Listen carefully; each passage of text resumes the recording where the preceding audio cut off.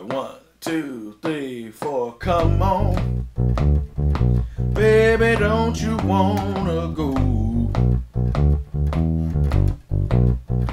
Come on. Baby, don't you wanna go? Yeah. To that same old place, sweet home, everybody, how are you? This is Bear Williams. I'm a bass instructor here at lessonface.com and today I'm going to show you how to play a 1-4-5 blues progression in the key of G. So let's get started. Alright guys and gals, so what we've got going again is a 1-4-5 blues progression in the key of G. So if you're a bass player coming on somebody's gig, being hired, or coming on a, a jam session, and somebody hollers out, hey, let's play a blues in G. Generally, generally, 99.9% of the time, they're going to they mean a 1-4-5 progression. And very popular progression, not only in blues, but also in pop and rock music. You've heard it a thousand times, but you might not have noticed it. But anyway, right now, here it is we got, first of all, we establish our key center. We're in the key of G, okay? And we want to know what those other notes are in that key. So we got our G scale, okay? So now that we've got our G scale established, we also need to know which of those notes in the scale are the 1, the 4, and the 5. So again, we've got G, the G, which is our 1. We need that one. The 2, we're not necessarily going to use that one. The 3, we are going to use, and I'll show you how we're going to use it. 4, definitely we're going to use it. 5, yes, we're going to use that. 6 is probably going to come into play too, and I'll show you what that is. The 7, maybe, maybe not. Anyway, and we've got the eight, which is the octave. So, okay. Now, we're playing the one, four, five in G. So it's a shuffle, Chicago kind of a shuffle. So what that refers to is the way the drums and the bass feel throughout the song. So it's kind of a shoot, shoot, shoot, shoot, shoot, shoot, shoot, shoot, shoot, shoot, shoot. So it's a shuffle, literally. Shoot, shoot, shoot, so so so so so so so so. That's the feel. Okay. So we've got we got the one.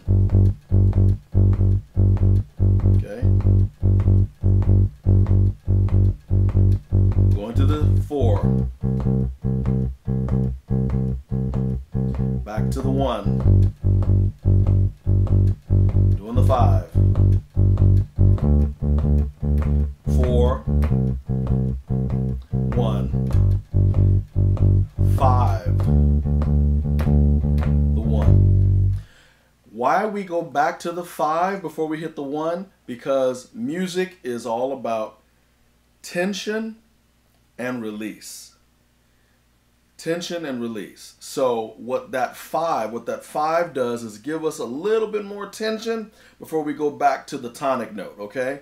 So again, here we go.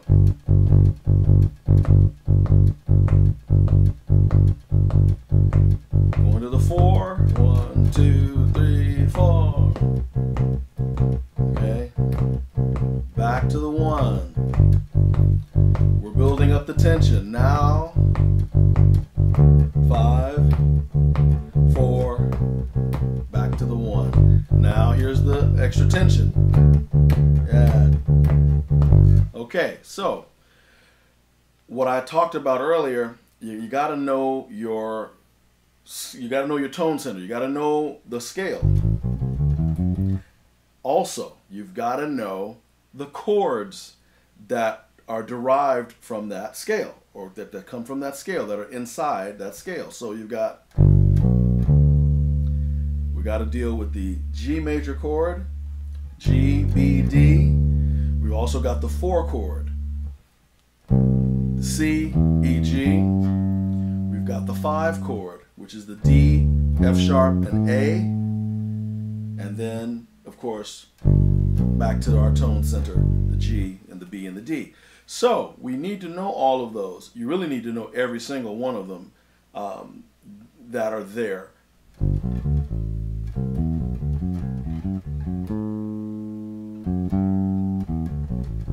Of course, that's not all of them, but you need to know that. You need to know each one, okay? Um, so, getting back to this, the reason I have the arpeggios is to make the bass line expand it some, to outline it. So I could just sit here and play this all night.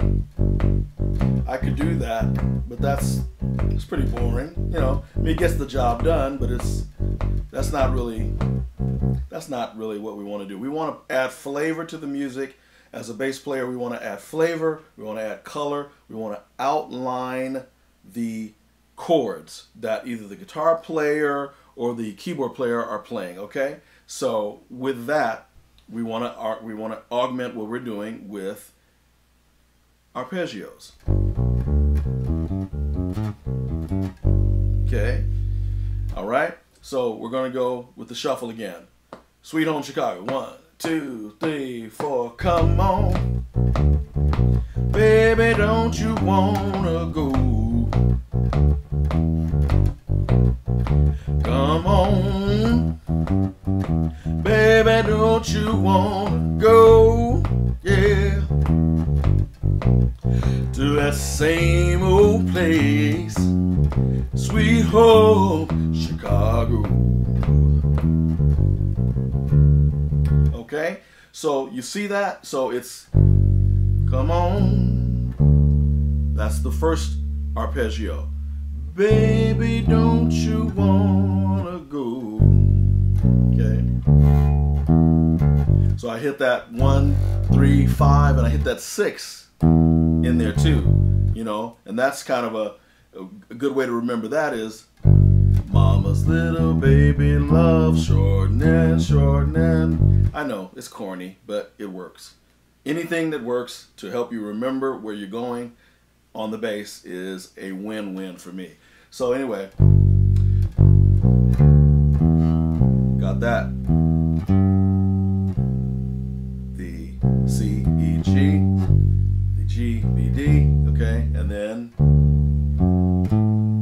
D, F sharp A, back to the C, E, G, and then this, okay? So that's just one way of building a, a firm foundation for a blues in 145 in the key of G. Great thing about the bass, it's a symmetrical instrument. Anywhere on the neck you play these progressions, you're going to come up with a great blues. You can play it in the key of uh, B.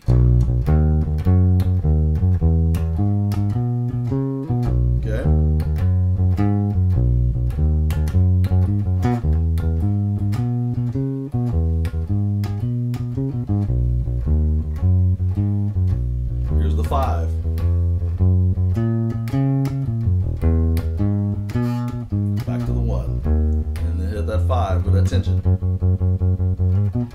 Okay? So anyway, we're going back to one. Going back to the G. So just wanted to show you wherever you put that shape, wherever you put this shape,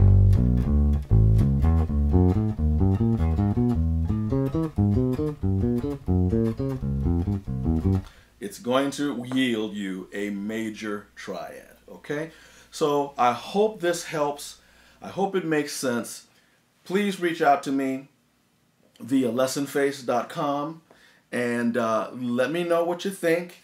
Um, I'm available for group lessons as well as private instruction. So uh, keep on playing, keep having fun. Love you guys. Thank you for watching, and I hope this helps you.